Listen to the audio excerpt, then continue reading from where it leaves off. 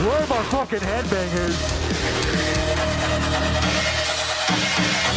Love is a suffering suffering